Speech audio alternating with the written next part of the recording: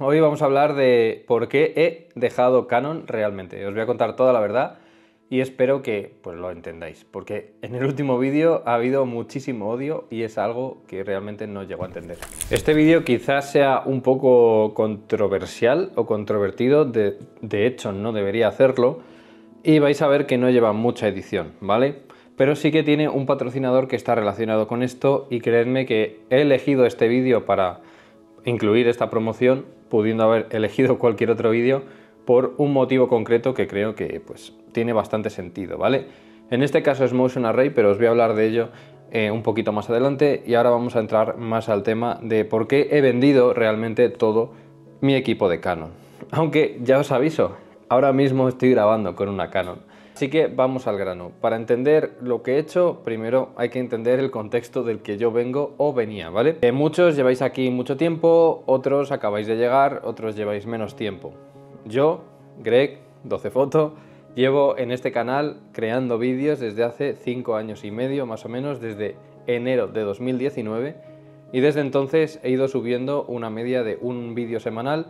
De hecho, es más porque son 517 vídeos, creo, por ahí en el momento en el que estoy grabando esto. Y mm, la inmensísima mayoría, hablamos de que el 95 o 98% de los vídeos que he hecho ha sido relacionado ya sea directa o indirectamente con material de Canon, sea una review de cámaras, objetivos o material de la marca, o utilizando ese material en el vídeo que estuviera grabando en ese momento. Vale, llegados aquí, esto ya lo conocíais y como sabéis también, yo he estado colaborando con Canon desde hace tiempo, desde hace años ya, en, un tipo de relación muy distinta a la que la gran mayoría creéis que es. A mí nunca me han pagado, nunca me han regalado nada y la única ventaja que he tenido, por así decirlo, que es una gran ventaja, es que me han dejado el equipo para poder hacer los vídeos, pero siempre tenía que devolverlo. Solo ha habido una excepción que ha sido la R5, que esa me la prestaron, era un préstamo, no era mía, pero era un préstamo, digamos, indefinido o a largo plazo, ¿vale? Esto ahora os lo explicaré un poco porque también es importante en todo lo que ha pasado, porque es que quizás no debería haber pasado así, no lo sé. La verdad es que yo voy viviendo las cosas según van pasando y voy reaccionando según las voy viviendo. O sea, no tiene más misterio y esto es igual que cualquier otra persona en su vida normal. Bueno, después de este rollo, yo tenía, eh, bueno, fui pasando desde una 700D a una 77D, 6D Mark II, estamos hablando de reflex todavía. Después vendí la, siempre he ido vendiendo y comprando, ¿vale? Yo no soy fan de acumular el equipo. Eh, después compré la R6 de salida, después compré una R de segundo cuerpo, también he tenido RP, he tenido después ya eh, me pude hacer con una R5C y después de eso Canon pues ya me ofreció esa R5 como préstamo, por así decirlo. ¿Qué pasa? Que yo me encontraba en un punto en el que tenía tres cámaras y varios objetivos. 100 macro, RFL, 1535, 247028, 7020028, todo RF. Y al final hay muchas cosas que no utilizaba. Por eso vendí la R6 porque aunque amo esa cámara no la utilizaba ya y vendí el 100 macro, ¿vale? Que esto lo vendí a la vez porque es que no los usaba. Al final el 100 macro es un objetivo que me encanta, pero era un capricho. Lo compré porque me salió un cliente que quería fotografía de producto con un nivel de detalle, vamos, el máximo nivel de detalle posible, que para eso está ese objetivo, pero al final ese cliente no perduró en el tiempo, entonces me acabé comprando el objetivo y usándolo pues en mis tiempos libres y así, que al final no lo usaba porque me he ido acostumbrando a utilizar zooms y con la calidad que tienen los zooms de Canon, los L, los, aunque son caros, los RFL tienen una calidad bestial, pues al final no usaba el 100 macro y lo vendí. Ok, me quedé con R5 como cámara principal antes que la R5C, ahora os cuento por qué, y con la tríada de lentes f2.8. ¿Qué pasó? en noviembre de 2023 eh, empezamos un proyecto nuevo, bastante emocionante, bastante difícil, que da bastante miedo y muy caro, muy muy caro, ¿vale? Mucho más de lo que pensábamos al principio. Compramos una ambulancia y la estamos convirtiendo en una casa con ruedas. Todo este proceso lo tenéis documentado en vídeos en mi segundo canal, que os lo dejo en la descripción, ¿vale? por si queréis ir echando un ojo a todo el proceso. No tiene nada que ver con la fotografía, pero lo tendrá, porque el hecho de hacer la furgoneta camper va dirigido a poder hacer viajes fotográficos y poder grabar los vídeos para este canal de una forma completamente diferente y que yo creo que os va a dar muchísimo valor. Todavía no está acabada, está a punto, pero todavía no está acabada. Llegados a, este punto en el que yo me quiero cada vez ir enfocando más en un tipo de vídeo, grabación y fotografía que va más relacionada con el viaje y con la aventura, por así decirlo, la R5C, que es una gran cámara, que de hecho es la única gran cámara híbrida que existe, siendo cámara de fotos profesional y cámara de vídeo profesional, es que no era compatible con este tipo de proyecto. Porque es una cámara grande, es una cámara que utiliza lentes grandes, que esto era algo que estaba dispuesto a, asumir ya que había comprado las lentes, o sea, no las voy a vender solo porque ese extra de peso ahora en este momento me estuviese suponiendo algo tan algo negativo, ¿no? Pero bueno, la cámara en sí, el gran problema que tiene es que aunque la calidad es bestial, de hecho el 4K 120 fotogramas es el mejor que hay, consume mucha batería.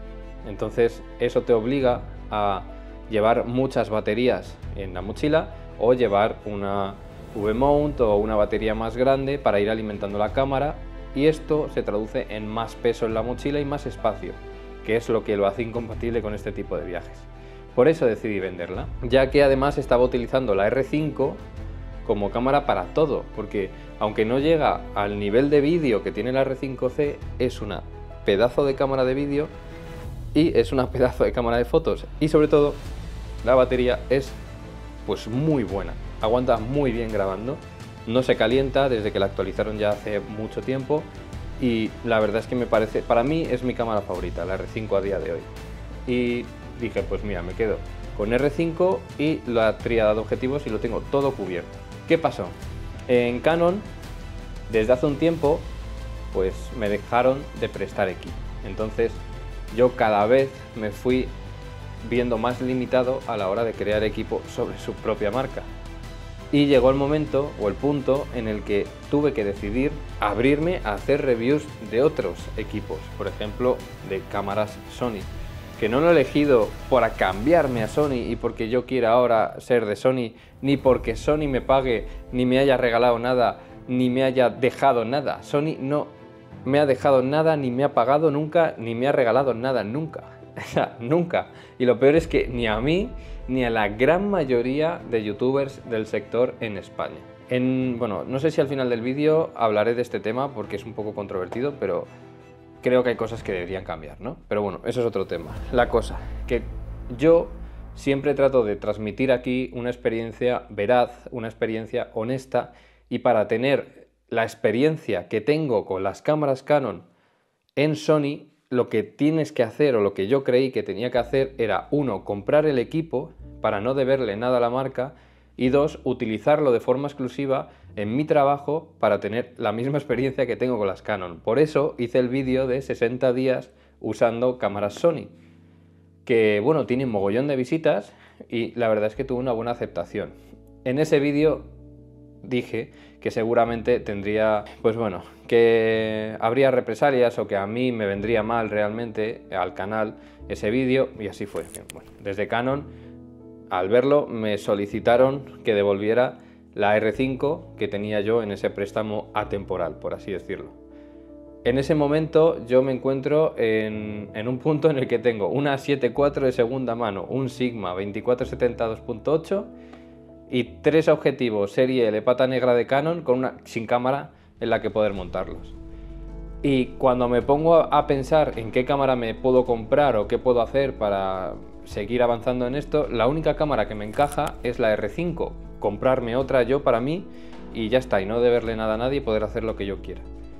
Pero eh, los rumores hablaban y hablan de que la R5 Mark II viene dentro de nada. Entonces no me parecía como una buena inversión gastarme 4.000 euros en una R5 cuando dentro de cuatro meses van a sacar la versión nueva que seguramente sea increíble. Entonces dije, ¿qué hago? ¿Me espero todos estos meses, que no sé cuántos pueden ser, con 7.500, 8.000 euros invertidos en un equipo que no puedo utilizar?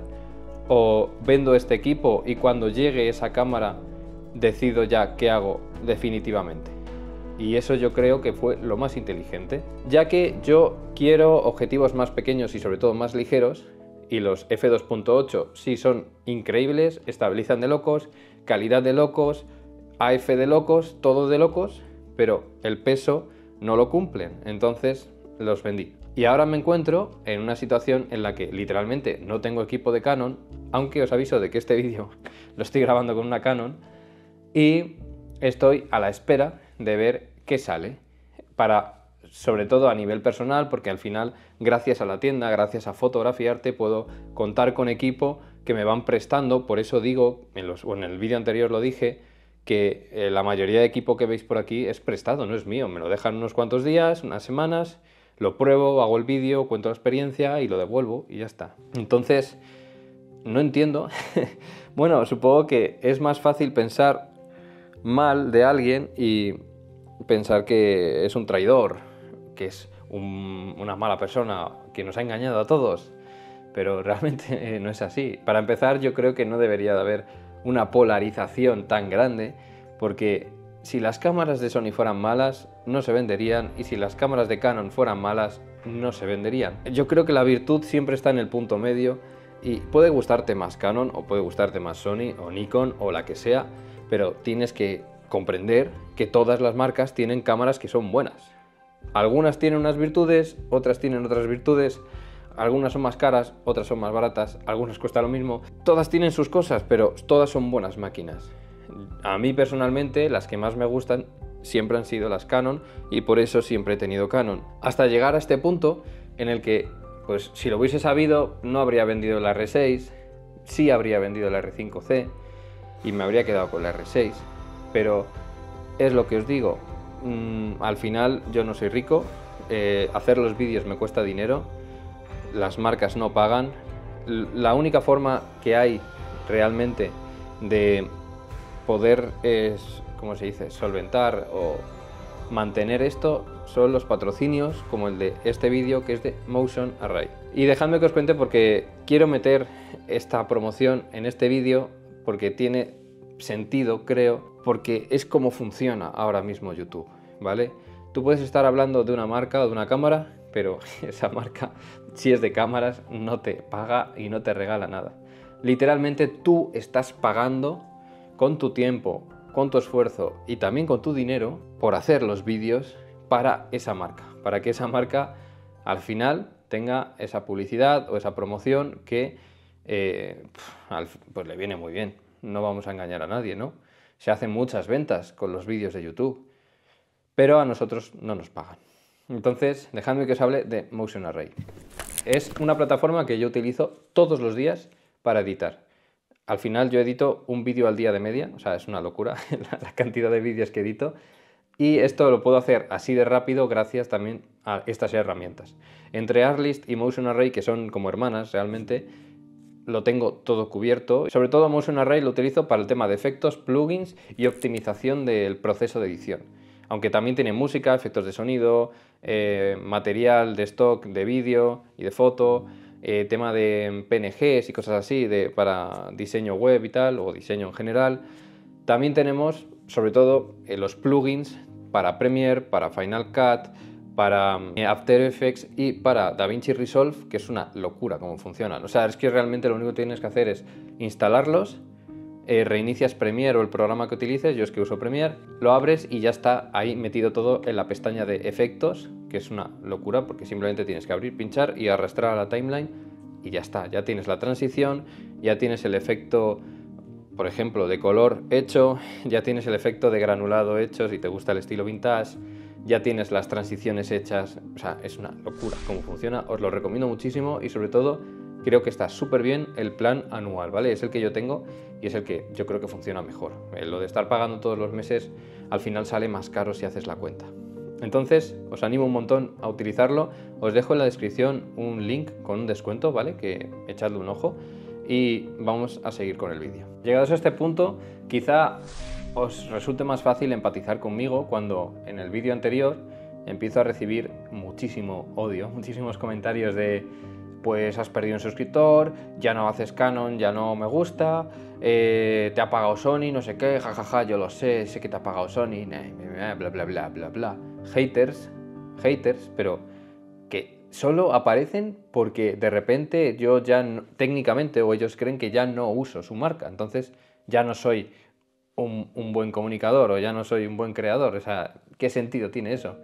Por eso, en parte también, quería y quiero Em, centrarme en poder probar marcas distintas y tener la experiencia de uso en esas marcas. Que haya elegido Sony al principio no quiere decir nada. Es que de hecho hasta un comentario me hablaba de que yo no tenía pasión por la fotografía porque ahora usaba Sony. Yo, pero ¿qué me estás contando? ¿Qué me estás contando?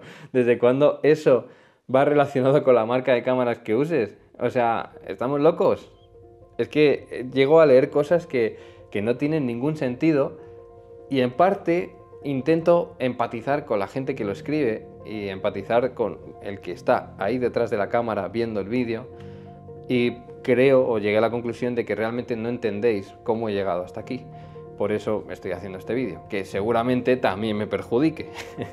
Porque cuando uno es completamente sincero, eh, la verdad es que no suele salir bien lo que mejor sale siempre es decir lo bonito, callarse lo malo y Santas Pascuas. Ahí todo el mundo te quiere, pero cuando te abres, digamos, cuentas lo que hay realmente detrás de la cámara y detrás de la persona, que es el canal, que en este caso soy yo, 12 Foto no es una marca, ni es una cámara, ni es un estilo, es que soy yo, una persona. Y leyendo todos estos comentarios, al final, pues lógicamente en un primer momento te da rabia, y, pero luego eh, intento empatizar con quien está escribiendo eso y veo que quizá todo ese odio o, esos comentarios tan feos vengan de el desconocimiento, de que directamente no entendéis cómo he llegado hasta el punto en el que estoy ahora mismo. Por eso este vídeo. Así que espero que con este vídeo hayáis podido comprender un poquito más en qué punto estoy, en qué punto está el canal. No va a dejar de haber vídeos de Canon, no va a dejar de haber vídeos de otras marcas y lógicamente vamos o quiero ir a mejor siempre. Así que poco más. Os leo en comentarios, si queréis lo discutimos ahí en los comentarios, pero siempre con respeto, por favor. Y si no, pues nos vemos el próximo domingo. 走。